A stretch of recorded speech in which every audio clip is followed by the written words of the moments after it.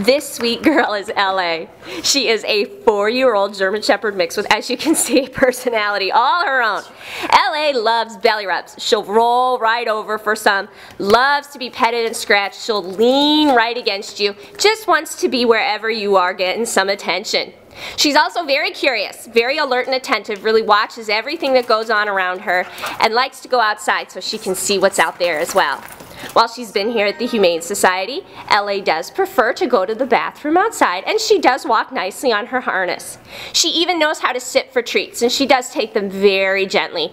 She's just a good-natured girl, looking for someone to both play with her but definitely also spend some time loving on her. She is going to make someone a terrific new pet.